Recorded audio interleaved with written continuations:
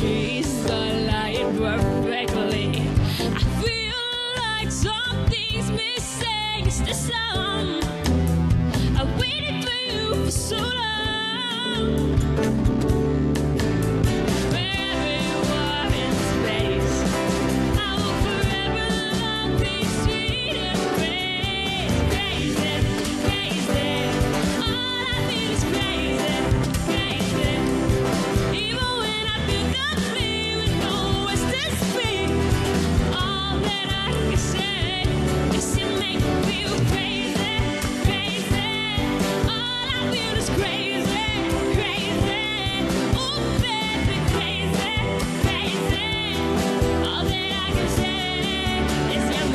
Feel crazy.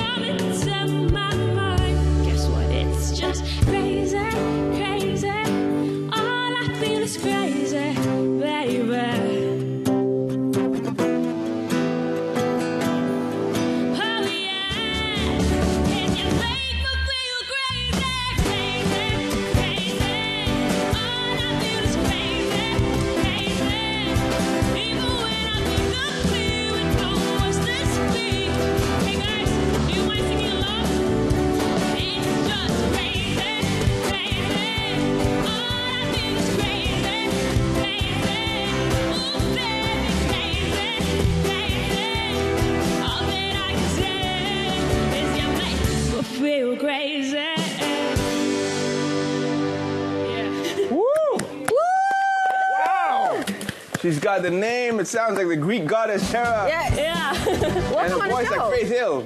Exactly. Right. thank you okay, so- I'm gonna stand right here, so we can be. You can be in the middle. Okay. Oh, cool. Thank you so much for having me on FreshBrew. Is exciting. I know, right? Last time I saw you, you had other friends. Yes, I was with Ascendance here. Yeah. Yes. Uh, now you're solo, of course, uh, talking about your craft and your. But you did mention uh, the last interview that you are also a singer-songwriter. Yes, yeah. You perform internationally. Yeah. um, are you excited, you know, to be here solo? Uh, it's quite nerve wracking to be honest. I've always had my team, so but it's a nice. My first time performing on TV, so it's like Right. excited and also yeah. You're a natural. I mean, that voice, it's just really awesome to hear. And that, that song, is that your song? Thank you. Yeah, it was my song. I guess it was driving me crazy, so I had to write it. So. Very catchy, I must say. I'm going to go download it. Is it on Spotify? It is on Spotify. Yeah, There it's on Spotify go. and iTunes. So we're looking forward to more music from you. But tell us about your mission, because uh, when, when we got your, your profile, your bio, it says you have a mission Yes. to change the world with music. Um, how is that working out for you now? I mean, in this condition, this Um, it's kind of cool in the sense that as much as we are all separated in our own homes around the world, the whole world's on standstill. But through music, we're able to connect and bring people together.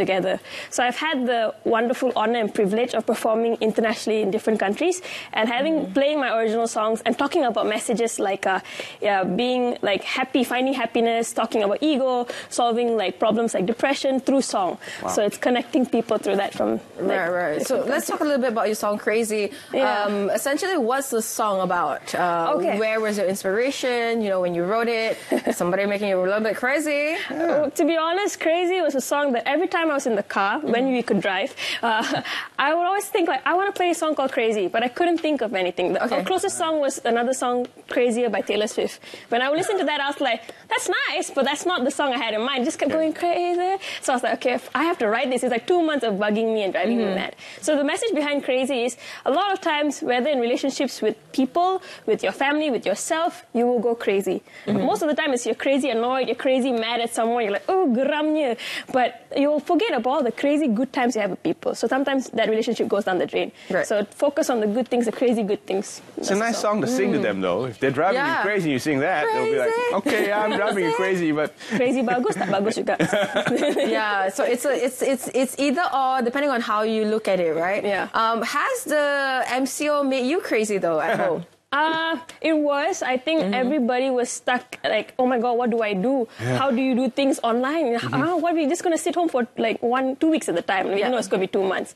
But uh, good thing is the MCO got me to try out new things. Like Mm-hmm. I never would have tried out online performances. I ended up doing like an opening ceremony online for like a webinar. Wow. And I got everybody sing along on Zoom. That was crazy, but Mm-hmm. it was still a success for that. And then I got to perform like in Spain. Mm-hmm. I was like, how is people going to react if they don't understand what I sing? But turns out everybody's fine overseas too. So everybody Yeah. speaks music. yeah, yeah. it's a la- universal language. That's right. So talk to us about your influences, because when, when we were listening to you just now, I, I was getting a Faith Hill vibe, and then and then the way you curled your notes, it sounds a little bit Oh my god, you're, Alanis you're so Morissette. You're so attentive. I'm scared now. No, yeah, it's, it's definitely. a it's a voice, you know. It kind of draws you into the performance. So at first I told her Faith Hill, then just now I got a Alanis Morissette vibe from you. So who are your influences? a lot of people say I do sound like Alanis There Morissette, go. and I'm See, like, thank you. wrong. oh yeah, you do.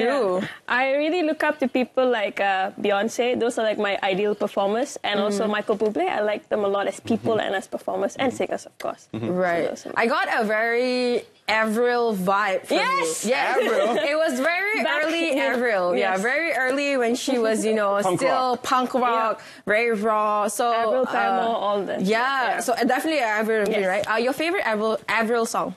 Smile. I think that was the first song I tried to learn when I was like tw- 11 or 12. I couldn't sing it at the time, but I would like, I want to learn this song and I Can you play it a little bit?